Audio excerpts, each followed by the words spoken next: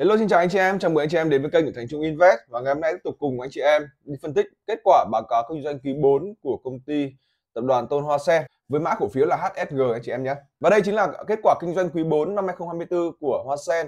Và anh chị em thấy rằng là doanh thu đã được cải thiện rất là rõ. À, khi mà doanh thu quý này là đạt 9.249 tỷ và cùng kỳ năm 2022 chỉ đạt được 7.942 tỷ thôi. Và mức tăng trưởng này đã tăng hơn 15 đến 16.4% so với cùng kỳ quý trước tăng trưởng tương đối tốt đối với hoa sen. Xem rằng là cái phần giá vốn ấy, nó tăng tương ứng với doanh thu không? Hay nó tăng chậm hơn?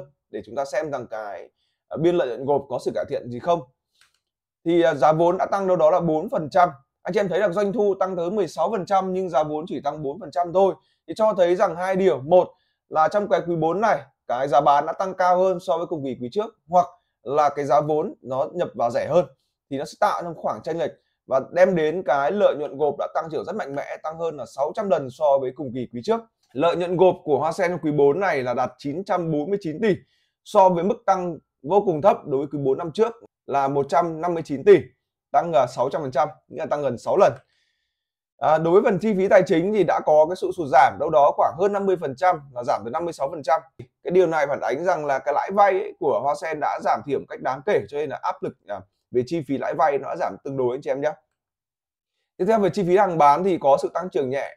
Ở đâu đó tăng hơn 9.8% thôi, cũng không quá đáng kể. Và cuối cùng anh chị em để ý cho mình cái lợi nhuận sau thuế của công ty mẹ đã là một con số hoàn toàn khác biệt. Ở quý 4 năm 2022 thì nó âm tới là 680 tỷ. Và quý này thì đã tăng trưởng lên 103 tỷ anh chị em nhé. Và đây là thông số hàng tồn kho quý 4 của năm 2023 và so sánh với quý 3 năm 2023 là quý liền kề anh chị em nhé thì đã cho thấy một sự gia tăng tương đối là từ mức 7.628 tỷ tăng lên là 8.025 tỷ anh chị em nhé, và tăng 5% thì cái điều này, trong cái hàng tồn kho này thì nó có đâu đó khoảng là 6 cái cấu phần chính, nhưng tăng chủ đạo mạnh mẽ nhất nó đến từ là nguyên nguyên liệu và vật liệu.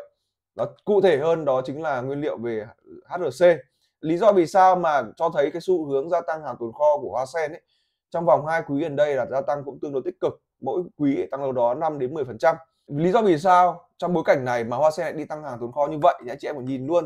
Ở đây chính là biểu đồ giá HRC và đây cũng chính là cái biểu đồ giá là nguyên liệu đầu vào của Hoa Sen. Và anh chị em để ý luôn là giá HRC đã tạo đỉnh vào năm 2022 ở phía trên này và đã có một sự sụt giảm rất là sâu.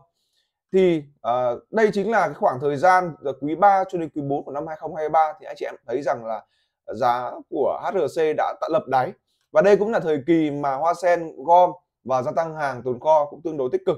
Lãnh đạo của Hoa Sen họ dự phóng rằng là à, rất có thể giá HRC trong năm 2024 này sẽ có sự phục hồi và đây là cái thời điểm mà họ sẽ gom cái hàng tồn kho ở mức giá rẻ để từ đó có biên lãi và biên lợi nhuận tốt hơn trong tương lai anh chị em nhé. Thì đấy là điều đáng chú ý đối với Hoa Sen trong quý 4 này. Rồi nhìn vào tổng quan cơ cấu tài sản nguồn vốn và lưu chuyển tiền tệ à, rất nhanh cho anh chị em thông qua biểu đồ trên WeChat thì anh chị em nhìn thấy rằng là à, cái tài sản của Hoa Sen đã tăng đâu đó tạo đáy từ quý 2 năm 2023 cho đến bây giờ. Và cái biên độ tăng mạnh nhất nó đến từ là khoảng tiền mặt tiền và tương đương tiền. Và cái thứ hai nó tăng đến từ hàng tồn kho.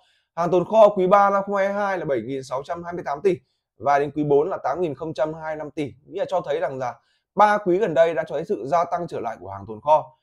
Và đây là cái cái hành động gom hàng tồn kho ở mức giá rẻ anh chị em nhé. À, để tài trợ cái tài sản này thì nguồn vốn nó đến từ đâu? Nó đến tập trung chủ yếu từ từ nợ vay. À, cái Hoa Sen đã tăng nợ vay ngắn hạn ở quý 3 là 2.936 tỷ tăng lên là 4.684 tỷ tức là tăng hơn là đâu đó khoảng 1.700 tỷ. Để là gì? Để tài trợ cho hàng tồn kho nhập gia tăng thêm hàng tồn kho anh chị em nhé.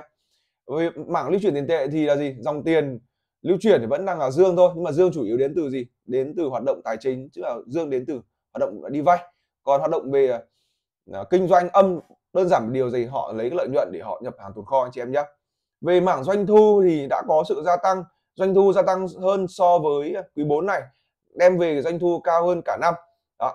Và đã có sự gia tăng ờ, doanh thu từ quý 1 cho đến bây giờ. So với cùng kỳ thì đã tăng trưởng doanh thu hơn 14.6% về cơ cấu về lợi nhuận thì là gì? Lợi nhuận cũng đã có một cái sự à, à, lãi nhẹ thôi đâu đó là 110 tỷ thôi. Nhưng tuy nhiên thì với bức tranh so với cùng kỳ năm 2022 ấy, thì nó đã tăng trưởng tương đối mạnh mẽ rồi. À, lợi nhuận sau thuế thì đạt trong quý này đạt 103 tỷ. À, anh chị em thấy là cái mức độ à, biên lãi cũng đã có một cái sự sụt giảm à, so với quý 3 là còn 10.47% thôi. Và lợi nhuận hoạt động thì gần như là gì? Rất là thấp. Đó, bởi vì anh chị em biết là gì? hoa sen nằm trong một cái ngành uh, chu kỳ rất là mạnh biến động về giá hàng hóa. Thế cho nên là gì? Mức độ biến động về lợi nhuận doanh thu cũng vô cùng lớn à, và ở đây có cho thấy là tỷ lệ nợ vay anh chị em thấy rằng là uh, hiện tại hoa sen chỉ đang vay nợ ngắn hạn thôi để đầu cơ hàng tồn kho và đã tăng trưởng so với quý trước là đâu đó hơn 1.700 tỷ mình đã chia sẻ phần trước rồi. Ở tiếp theo phần định giá thì BP hiện tại của Hoa Sen đã đạt mức là 1.33 lần. Nó đang ở mức uh, tương đối là thấp hơn trung bình 5 năm. Trung bình 5 năm của Hoa Sen đâu đó khoảng là 1.6 1.7 và bây giờ chỉ là 1.33 thôi.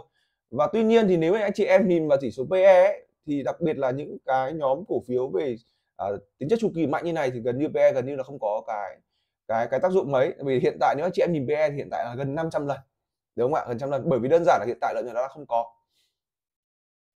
Thì đó vừa rồi mình đánh giá rất nhanh cho anh chị em về kết quả tình hình kinh doanh quý 4 và điều gì à, đáng lưu ý của Hoa Sen trong thì hiện tại thì anh chị em hãy lưu ý cho mình đó gì? Đó chính là hàng tồn kho của Hoa Sen đã gia tăng. Đó, hàng tồn kho Hoa Sen gia tăng và cái giá HRC nó đã gom được cả tương đối hàng tồn kho ở cái thời gian là quý 3 và quý 4 năm 2023 thì đấy chính là cơ sở để tạo lên lợi nhuận của năm 2024 một lần nữa rất cảm ơn anh chị em đã xem clip và hẹn gặp lại anh chị em ở những clip tiếp theo. Xin chào và hẹn gặp lại anh chị em.